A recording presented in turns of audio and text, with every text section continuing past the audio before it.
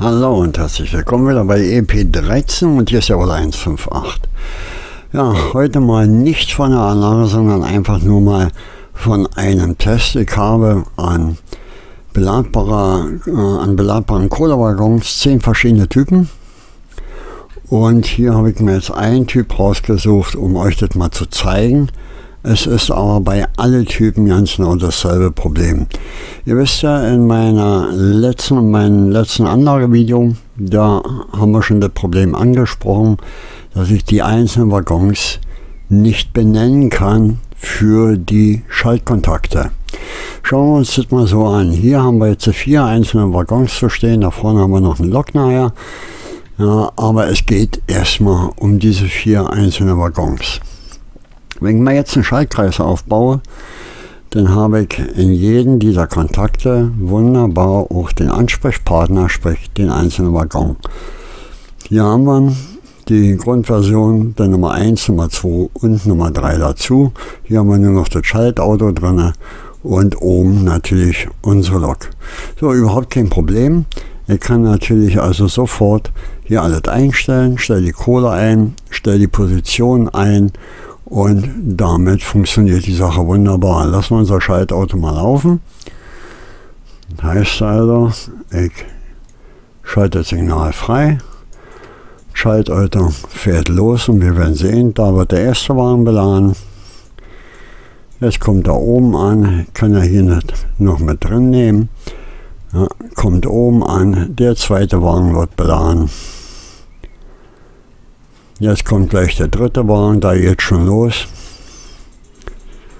Und jetzt kommt gleich der vierte Wagen und wir können dann erstmal wieder stoppen. Und das funktioniert auch wunderbar. So hätten wir das auch gedacht und so hätten wir das auch mit unserem Kran machen können. Gut, ich nehme das mal wieder weg kurz und wir machen unseren Wagen mal wieder leer hier. Okay, den auch noch. Ja, das wäre ja dann ganz normal mit Schaltkreise, würde es wunderbar funktionieren. machen wir folgendes. Ich stelle mal den Zugverband so zusammen, wie wir das natürlich auf unserer Anlage auch haben.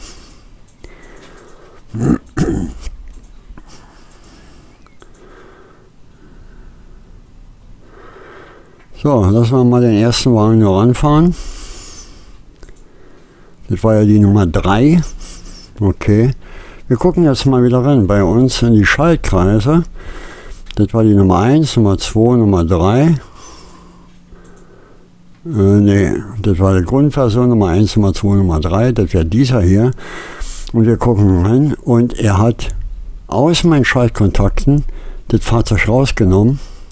Wenn wir uns das jetzt angucken, taucht dieses Fahrzeug hier in der ganzen Liste nicht mehr auf. Wir ein Stück weiter. Lass wieder starten. Koppel den nächsten Wagen an. Wunderbar, wir gehen zurück. Gucken uns jetzt hier oben, ja, diesen. Und siehe da, der Wagen ist raus aus der Liste kann öffnen, er taucht nirgends mehr auf, es sind nur noch diese Beine hier übrig. Und wenn ich jetzt äh, den Zuchtverband komplett zusammenstelle,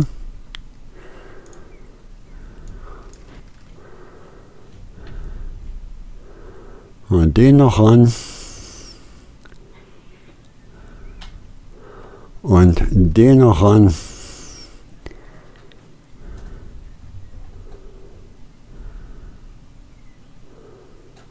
So. Okay. Wir gucken jetzt mal nach. Alle Schaltkontakte ist aus der Liste der Waggon raus. Da, alles ist raus. Ich kann also keinen dieser Waggons mehr ansprechen. Und wenn ich die Liste dazu öffne, habe ich tatsächlich nur noch mein Schaltauto und meine Lok da drin und alle Kohlewagen sind raus. Das habe ich aber bereits in einem Video schon gesehen, weil ihr mir auch zugeschickt habt als Beispiel, dass es funktioniert. Jetzt äh, meine Bitte an euch, wer eine Lösung dafür hat, wie bekomme ich in einem Zugverband die einzelnen Waren hier für die Schaltkontakte wieder rein? Ja, denn das kann nicht sein. Selbst wenn ich jetzt meine, mein Schaltauto fahren lasse, würde ich gerne noch verstehen, wenn er jetzt trotzdem die einzelnen Wagen anspricht, aber jetzt passiert gar nichts mehr. Ist normal, klar. Sie sind raus aus den Schaltkontakten, raus aus der Liste und mein Flitzer, der kann da rumfahren, was er will. Es passiert gar nichts mehr. Ich habe nicht mal mehr die Chance, dass ich sagen kann, er soll alle Wagen gleichzeitig beladen. Und das passiert mir bei allen Modellen, die ich habe. Und ich weiß nicht, ob das ein Fehler ist oder ob ich noch irgendwo ein fehlerhaftes Denken habe. Kann aber, denke ich mal, nicht sein, weil diese Verladung, die müsste eigentlich funktionieren. Denn in dieser Liste hier oben habe ich auch nur noch Schaltauto drin und das. Wenn ich jetzt aber reingehe hier, dann tauchen sie alle auf. Ja, wie kann das sein, dass wenn ich hier drin bin, nur noch die Lok und das Schaltauto auftauchen, also für die Automatik.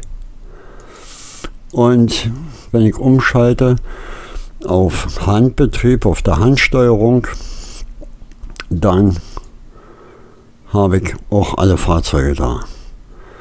Nur wenn ich hier sage, ich will das hinzufügen für einen Filter, dann das, das, das nutzt mir überhaupt nichts.